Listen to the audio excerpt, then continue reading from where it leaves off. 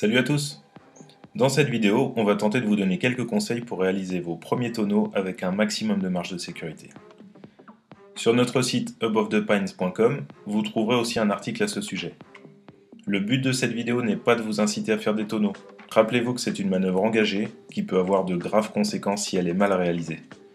Il n'est pas non plus nécessaire de faire des tonneaux pour pratiquer le speed flying ou le speed riding, donc ne vous laissez pas influencer par les potes ou les vidéos et ridez avant tout pour le plaisir, pas pour la GoPro.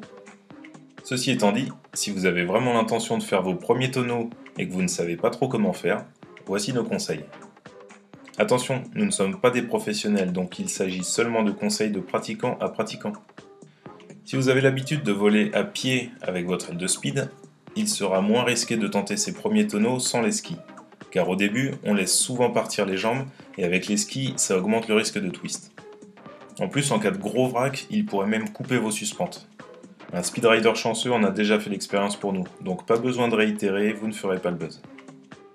Mais pour ceux qui ne veulent pas à avec leur aile de speed, ne vous forcez pas.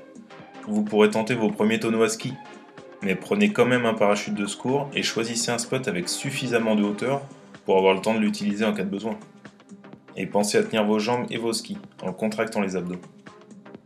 Pour commencer, la base est de savoir réaliser des 3-6 et des beaux wing-over.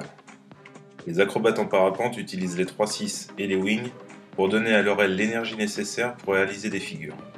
C'est la même chose en speed flying, sachant que plus la voile est grande, ou plus la charge à l'air est faible pour être précis, plus il faudra donner de l'énergie et de la vitesse à l'aile. Avec une bonne maîtrise des wing-over, on peut quasiment faire des tonneaux avec un parapente, donc avant de vous lancer dans vos premiers tonneaux, apprenez à être à l'aise avec ces manœuvres. Une fois que vous êtes à l'aise avec les wings et les 3-6 et que vous vous sentez prêt, prenez un parachute de secours et choisissez un spot avec du gaz et une aérologie calme. Si vous pouvez enchaîner les runs, c'est top et au-dessus d'un lac, c'est carrément l'idéal. La première méthode, qui pour nous est la plus facile et la plus sûre, est de commencer par faire des beaux wings.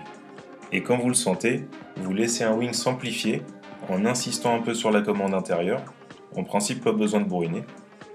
Retenez un peu moins l'extérieur au début de la rotation, et le wing se transformera en tonneau. Remettez un peu de commande extérieure sur la deuxième partie de la rotation pour calmer l'inertie, et voilà. Deuxième méthode.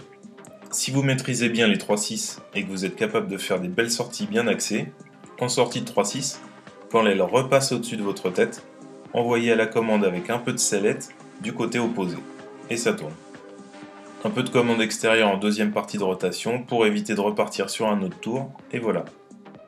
Attention, si vous n'attendez pas que votre aile repasse au-dessus de votre tête, elle sera en plein piqué et risque de se placer face au sol quand vous tirerez la commande, entraînant une perte d'altitude très importante. Et si vous attendez trop, votre aile cabrera, perdra sa vitesse et c'est le risque de décrochage si vous enfoncez trop brutalement la commande. Quelle que soit la méthode, il vaut mieux être un peu timide avec la commande, quitte à ce que ça ressemble à un 3-6 que de risquer le décrochage de l'aile, car là en général ça finit mal. Et même si vous n'avez pas de ski au pied, pensez encore une fois à tenir vos jambes et à contracter les abdos pour éviter l'effet de twist. Pensez aussi à garder le regard droit, de face, comme si vous vouliez tourner autour de l'axe de votre regard. Et gardez toujours en tête que c'est la vitesse qui donne à l'aile l'énergie de faire un tonneau. Pour les premiers, entraînez-vous à n'en faire qu'un et à bien stabiliser la sortie.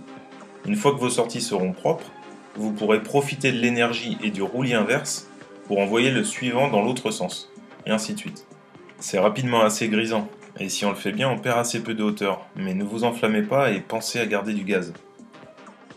Une fois que vous serez bien à l'aise avec le tonneau, vous verrez qu'il est aussi possible de le faire dans la ressource d'un 3.6 ou d'un autre tonneau un peu plongeant, qui vous donne une bonne vitesse.